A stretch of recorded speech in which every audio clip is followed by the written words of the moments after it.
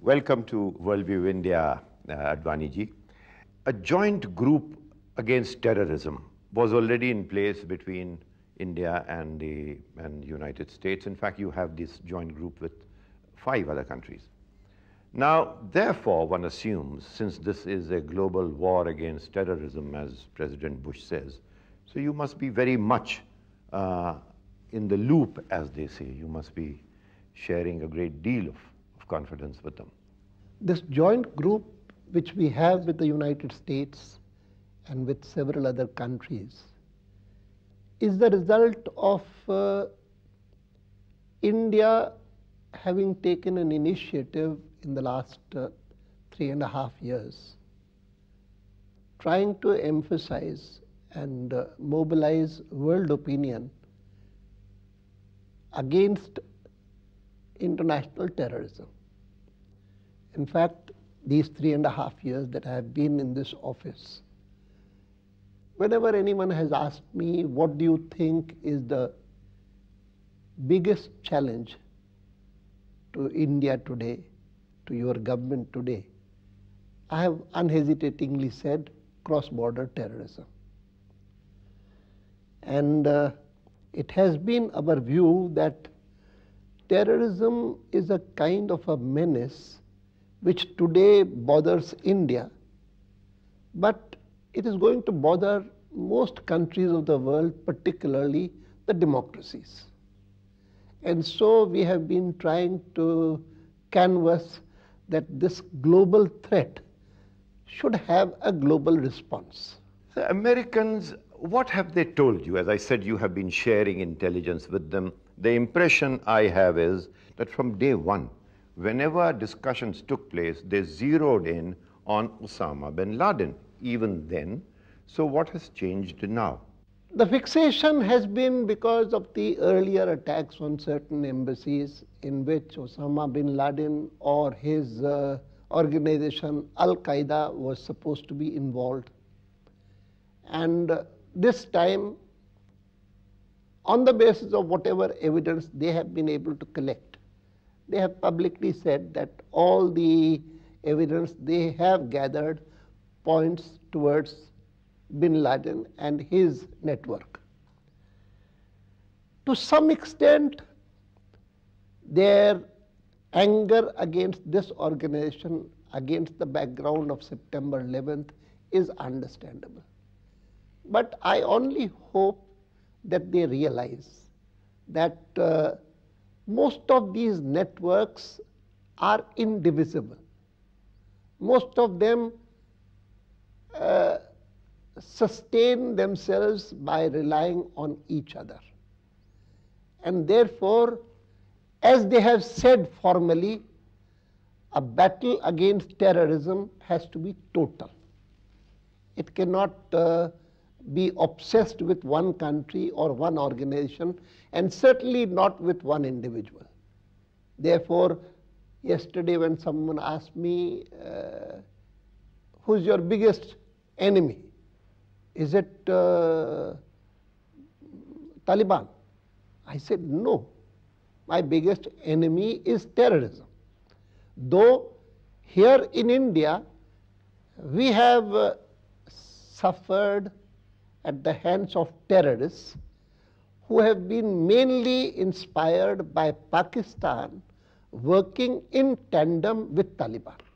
Now, you mentioned Pakistan and Pakistan is now the frontline state, as it was in the case in the fight against Soviet Union in Afghanistan. It is a frontline state. Might it not be a, a terrific future that we are looking forward to, that Pakistan comes out chastened, anti-terrorist state from this experience? Wouldn't it be a wonderful thing for the region? My, my foreign minister has already said he's welcomed if any such thing happens. And particularly after the encounter we have had with General Musharraf just a couple of months back, in which he made statements which no predecessor of his had ever made, because he was the first person. Uh, people talking about uh, terrorism in Jammu and Kashmir being a freedom struggle, we had heard of it. He is not the first who said it. But people comparing uh, what's happening in Jammu and Kashmir and Pakistan's assistance in arms, ammunition, finance, and uh, infiltration and uh, mobilizing all the people of the world, including Sudan and Afghanistan, and sending them into Jammu and Kashmir to support the so-called freedom struggle. And that being compared to India's action in 1971 and saying that after all, you also built up a Mukti Vahini which you sent to Bangladesh. After, when he did this, uh, he added a new dimension to the whole situation, which made us feel that this person's and this leader's approach is far more dangerous than the earlier. Because uh, Mukti Vahini, India supported it, no doubt. But Mukti Vahini never indulged in any act of terrorism. Now that this crisis is building up in our neighborhood, uh, Advaniji, uh, what, what are the risks that we are exposed to?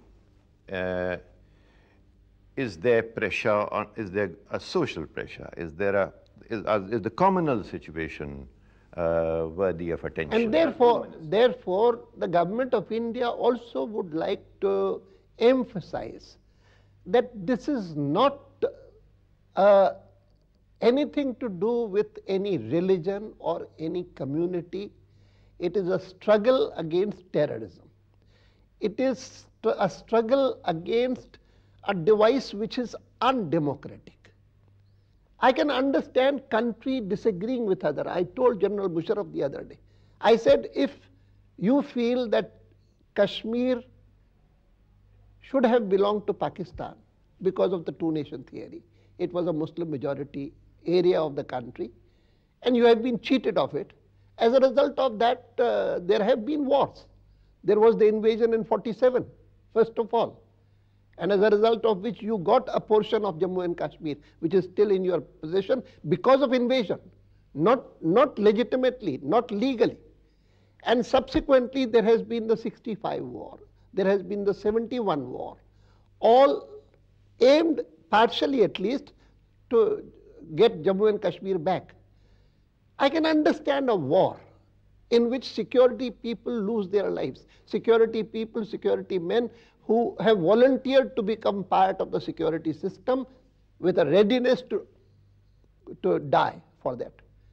But what has been happening after 71 is Pakistan adopting terrorism as state policy and which has now become the proxy war.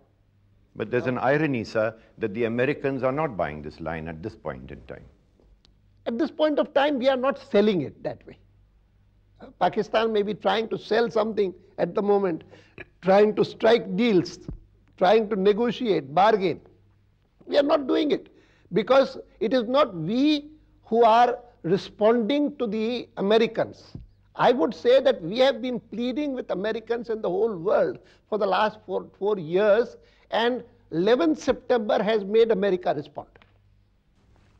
On that note, thank you very much, sir. Thank you.